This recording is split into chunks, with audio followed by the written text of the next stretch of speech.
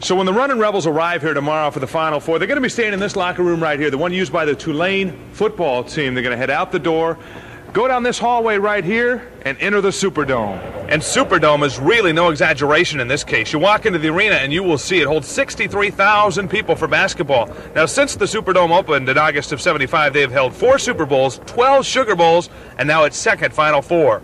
So all this morning, workmen were putting the finishing touches on the arena for the big show tomorrow. You know, they got a special court here. The NCAA paid $45,000 to get this special blue painting on the court and a special sheen so that it looks just right for TV tomorrow. They've also got these special seats courtside. Look at these things. NCAA Final Four seats.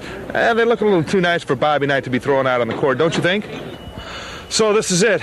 Whew, the top row at the New Orleans Superdome. Geez, what a climb. We thought we'd make this climb so you could see, you know, what it's like to come all this way. Thank goodness the press seats are way down there. You know, what I find hard to believe is that people would come all the way up here, make this climb just to see a Saints game.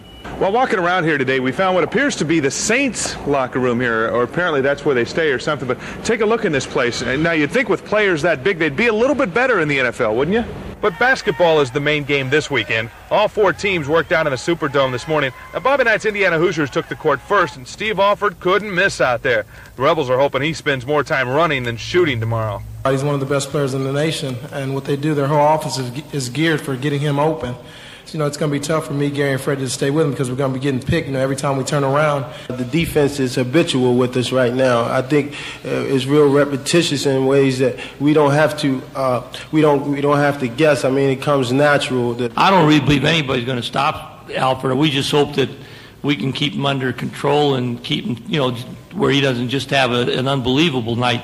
You're not going to stop him.